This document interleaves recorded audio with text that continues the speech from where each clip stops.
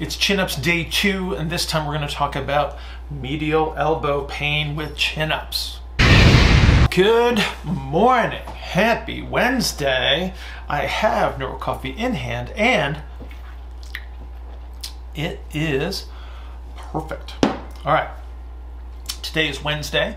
That means that tomorrow is Thursday. So please join us 6 a.m. for the Coffee and Coaches conference call. These calls have been great. They're they're tremendous fun for me. Time just flies by. We've been going like an hour and a half, two hours on these calls, and just having a blast. So grab a cup of coffee, and please join us for that again 6 a.m. Link will be on my professional Facebook page um, just prior to the call, about 5:30 or so. Um, so it's Wednesday, always always tight. We got to dig right in to today's Q and A. This is apparently chin up pull up day two of, of chin up and pull up week.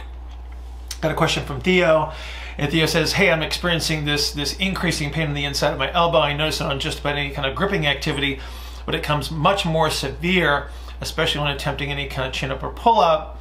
Any ideas why this might be happening? Yes. So, so Theo, I'm going to give you the most common representation that I see um, with this circumstance. But first and foremost, what I want to do is I want to cue you to watch yesterday's video. So that's kind of the setup for today's vi video um, because it gave us a little bit of a background on, on what our needs are and some of the compensatory representations that we're going to see in, in chin-ups and pull-ups as to how people actually execute these things. Um, the, the, the key element that I want you to walk away with from yesterday's video is that we got to have external rotation range of motion to superimpose the force of internal rotation on top. So there's going to be common compensations that are associated with the lack of shoulder range of motion that's going to produce orientations into external rotation so we can actually still produce the, the internal rotation force. Now, here's the problem with chin-ups and pull-ups because we've got both hands fixed on the same bar. We create a constraint and that constraint reduces our ability to turn. So we have, we have cancellation of turns which result in compressive forces and compressive strategies. We see the same thing with, with barbell activities. So again, no big deal. We just need to recognize these things. But what it does then is we create situations that are, are proximal to distal and then distal to proximal. And unfortunately, your elbow is dead center. And so we're gonna have we're gonna have this this sort of wave effect that's gonna come down from the top and up from the bottom. So as force demands increase, what you're going to see is you're going to start to see these orientations, orientations into external rotation, which we need to create space. So we have to have a space where we can move, and this allows us to produce internal rotation. What's going to happen though is we orient, we're going to drive this from the, the scapula in, in most circumstances, the humerus is going to follow the scapula into external rotation. And then we have to produce this internal rotation situation. So, so let's pick on a muscle when we're talking proximal to distal. People don't think about pronator teres as being a proximal mus muscle, but it does attach to the medial epicondyle. So what this muscle is actually doing as you're performing your chin-up is it's producing internal rotation because it's, it's, a forearm pronator. That's why they named it pronator teres, but they screwed up because it's actually attached to the, to the humerus. And what it actually does to the humerus is it twists the humerus into ER. So it's actually an ER muscle as well, and it's an elbow flexor by traditional representation. Um, so it's doing a lot of stuff, but what it's gonna do is it's actually gonna pull in that medial condyle as you're trying to drive internal rotation on top of this ER oriented position. Now, let's go distal to proximal. We fix the hand. So what the hand's gonna try to do, it's sort of like a foot being on the ground. The hand is fixed. And so what we're gonna do is we're gonna start to drive internal rotation with the hand proximally. And so because uh, of our fixed hand, even if we're supinated, even if we're supinated, we're gonna try to drive an internal rotation force. So we're gonna try to drive pronation from the hand proximally. Now, here's the other problem. If I get a compression on the front because I'm canceling out rotational forces, so if I push my pump handle down under these circumstances to create internal pressure and, and high force, I'm gonna create a situation where I lose shoulder internal rotation. So again, down pump handle, loss of shoulder internal rotation, now I'm in compensation City. So what you're gonna see then is we're gonna see internal rotation compensations. So this is gonna show up as back extension, traditional back extension. Um, posterior lower thorax compression. You're going to see uh, increased pronation of the forearm, pronation of the hand, and then you're going to see like a shrugging action, which is actually dorsal rostral compression. And so again, you're going to see all of these substitutions start to take place, and then your poor little elbow in the middle is going to be where, where we have this point of compensation. Well, but what if we change the hand position? Because again, if that's the constraint, let's just manipulate that. Okay, so you, you, you may have noticed that, hey, when I play with my grip a little bit, if, if I go from like a supinated or pronated grip and I go to this, this middle range, kind of a neutral grip, that, that there's a little bit of a difference. Well, any degree of supination is going to start to drive some external rotation orientation from distal to proximal. So from hand proximally, um, which again, that's why these parallel grips kind of help. But um, the thing that I want you to recognize is that as soon as you start to load this to any significant degree, you're still going to drive a ton of internal rotation force. Um, one of the other advantages that's possible, which is why we, we tend to, to push people towards neutral grips so they can keep training while they're trying to rehab this situation.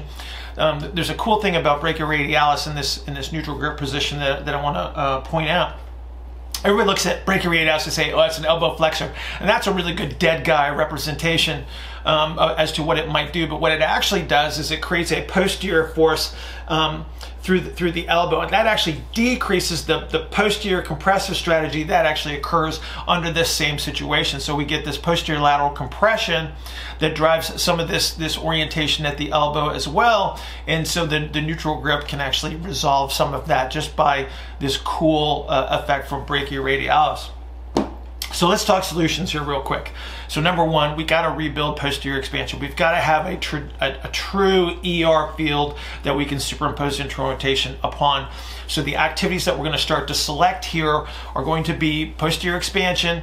Um, we're going to we're to play with arm position a little bit. So we want to do activities that are below shoulder level. That's going to help us start to build this this posterior lower thorax expansion, and then we want to be able to move through the excursion of traditional shoulder elevation um, where we're going to start to, move upward and, and improve our dorsal rostral expansion so we can eventually get the arm above shoulder level.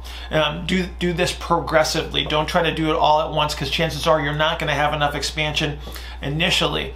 Um, you might want to also try to superimpose a little bit of, of supination into the inverted activities that you might be using that are eventually going to get you um, a little bit of pump handle and dorsal rostral expansion at the same time. If uh, you know somebody that, that has um, manual skills and is allowed to touch people, you can manually reorient the forearm. So, so we, we block the, the proximal elbow a little bit of distraction there to reduce the, the posterior compression, and then we can actually uh, mobilize that, that distal forearm to actually reduce the amount of pronation in the distal forearm relative to the proximal forearm. So that's a fun one, and it does uh, it's it's rather remarkable in regards to, to how quickly you can you can see changes there. Um, then we got to restore anterior expansion. So we got to get true internal rotation available to us. Um, because of the, the elbow being a little uncomfortable, under many situations, we start in, a, in a, like a high oblique sit. This is a great place to start. We can keep the elbow extended.